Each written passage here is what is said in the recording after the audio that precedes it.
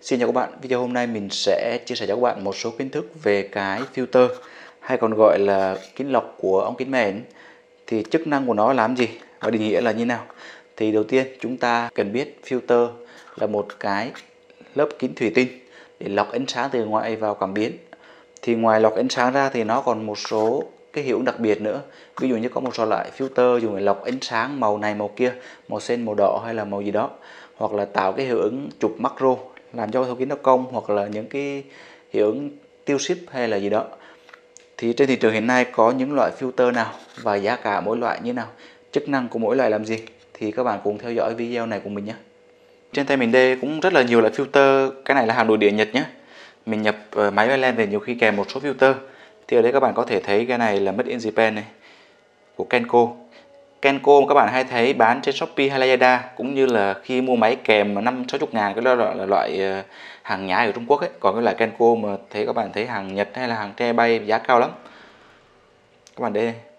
Cái Kenko này là cái phi 77 dùng để gắn lên len ờ, như kiểu 2470 hay là các cái tiêu cự 1935 dùng để lọc mây cho nó xanh cho hình nó ấm xanh ví dụ các bạn thấy này. Mình để lên đây các bạn dễ thấy này. Đó thì nó màu xanh lè luôn này. Đây là filter trong thì nó không có màu này, các bạn này, thấy màu xanh này. Đó, màu trong này. Đó. Bình thường các cái filter giá rẻ trên thị trường hiện tại, đa phần là mục đích chính là mình có thể chống tia UV làm cho hình nó đỡ bị flare hay là bị ờ, nhiễu màu. Và thứ hai, nó chắn bụi, chắn trước. Trường hợp các bạn len bị đụng vào đâu đó, nó đỡ bị trầy xước hay vỡ. Cái rất là hay. Đấy, các bạn đây thấy này. Đó. Đây là một loại Kenko khác. Còn đây là filter UV để các bạn thấy UV này. Đó. Cái này của hãng Nhật nhé. Và ngoài filter này ra, các bạn có thể tìm thấy một số loại filter như là filter có thể chụp điện ban ngày phơi, như ví dụ như là filter ND hay là CPL trên mình đang có một cái đây, là CPL đây, phi 58 các bạn có thể thấy nó màu đen này. Đó, để bên cạnh của cái màu trắng này các bạn thấy này. Là màu đen nó sẽ giảm ánh sáng. Qua ví dụ như các bạn khi phơi sáng ban ngày một dây nó bị cháy sáng thành ra khi các bạn gắn vô các bạn có thể phơi được hai dây chẳng hạn thì ánh sáng nó qua ít hơn. Nó giống như một cái miếng băng một cái băng hồi xưa màu đen đó, các bạn muốn nhìn mặt trời nhật thực nguyệt thực các bạn để lên mắt là nó ánh sáng giảm rất là nhiều. Đó cái đó là gọi là filter CPL đây còn filter mấy cái dạng như này thì đa phần mình mua hay là mình nhập bắn kèm với len để các bạn gắn vào ống kính để các bạn cơ bản là dùng để bảo vệ ống kính, chống va đập hay là xước hay là gì đó thôi. Và cái filter đa phần là nó sẽ dùng cái ren vặn vào nhé các bạn. Đây, ví dụ đây, ví dụ đây mình có một ống kính này. Đó, thì mình vặn vô có một cái ren này.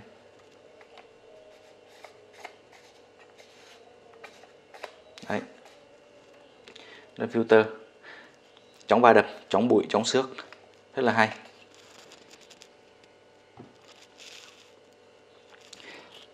Ngoài filter tròn ra, các bạn có thể tìm thấy một số dòng filter vuông có cái gắn ngoài để dùng cho các ống len, để dùng cho các ống kính mắt cá, fit eye gì đó. Rất là hay. Trên này mình đây cũng cũng có một cái loại dạng độ chuyển đổi filter. Đây, phi về 7 cái này cũng của Nhật về luôn. Chức năng của này mình cũng chưa rành lắm, không biết làm gì nữa. Nhưng có vòng cao su bên ngoài này. Chắc là có thể dùng để gắn thêm một số cái kích thước nó lớn hơn 77 chẳng hạn.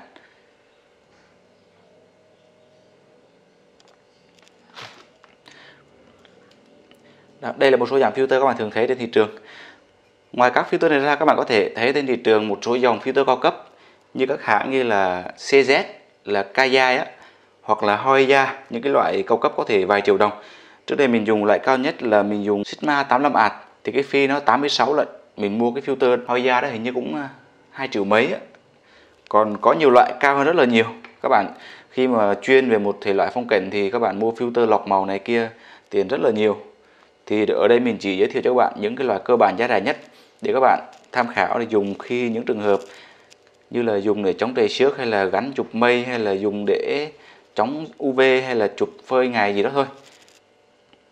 Và hiện tại trên thị trường mình thấy cái loại rẻ nhất thông dụng hiện tại đa phần là cái loại hãng à, Kenko thì cái hãng này thì mình thấy gắn vô chất lượng nó không có gì đặc sắc hết á thì cái này thường thường các bạn, khi gắn vô đa phần để các bạn ừ, chống trầy xước hay là khi nào mua kèm len người ta tặng kèm hay là mua để gắn, chống bụi, khi nào dùng các bạn tháo ra cất cũng được thôi.